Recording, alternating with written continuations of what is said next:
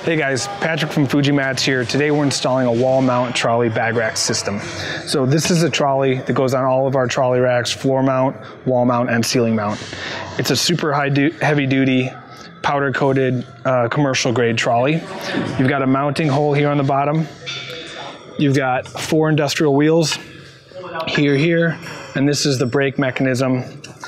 That brake mechanism is activated by uh, this pull cord, and then you have another for a brake.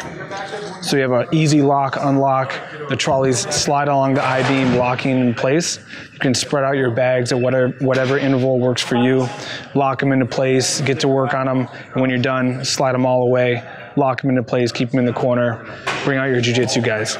Um, super awesome application. It works on three of our bag rack systems. Check it out at fujimats.com.